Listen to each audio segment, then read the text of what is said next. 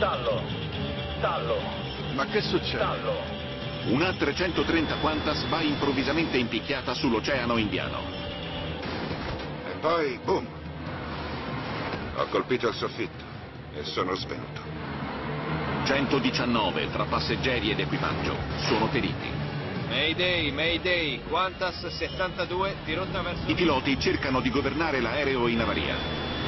Eravamo nei guai. Non sapevo perché l'aereo si comportasse così.